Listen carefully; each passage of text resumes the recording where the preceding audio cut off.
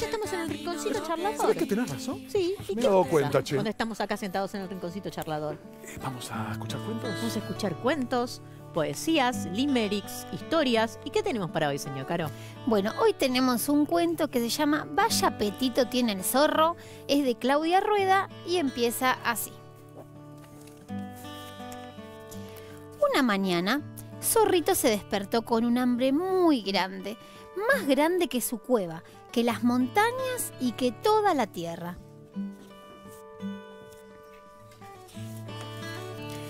Encontró uno en un pantano halló dos más dentro del lodo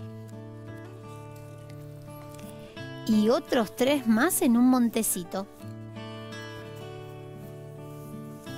Dentro de un tronco encontró uno más. Y el más grande lo halló justo en el camino. Contó hasta diez y regresó a su casa cantando y con la lengua de fuera. Se alistó para preparar la deliciosa tortilla, grande como su hambre y toda para él solito. Pero de los 10 huevos que tenía, uno se reventó y solo le quedaron nueve huevos y un patito para alimentar. De los nueve que quedaban, tres más se reventaron y solo quedaron seis huevos. Y un patito y tres cocodrilos que alimentar. De los seis que le quedaban, se reventaron otros dos, así que solo le quedaron cuatro huevos. Y un patito, tres cocodrilos y dos flamencos que alimentar. De los cuatro que quedaban, uno más se reventó y solo le quedaron tres huevos.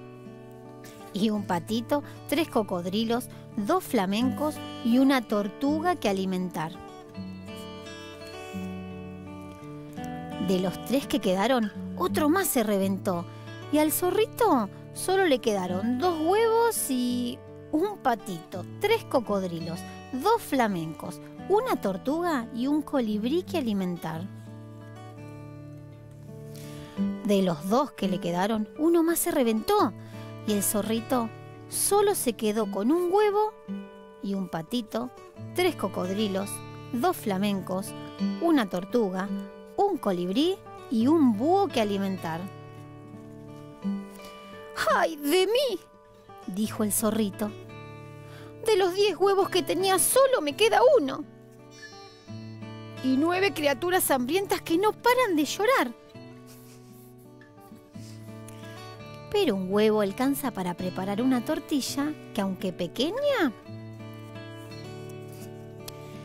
pues más sabrosa es la comida que podemos compartir.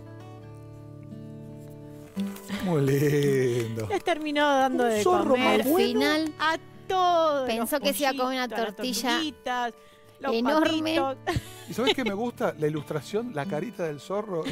Más lindo que vi los cuentos. Es que- Los ojos saltones como es siendo. que uno pensaba, encontró 10 huevos, tiene mucho hambre, se va a hacer una tortilla enorme y no. Le aparecieron No 10 pudo. animalitos Bueno, para cuando- compartir. Cuando nos preparemos para hacer los huevos rellenos, traigamos un montón. por Ah, las dudas, hay que a ver si tener tenemos cuidado, a un ver qué nos una aparece tortuguita, ahí. para-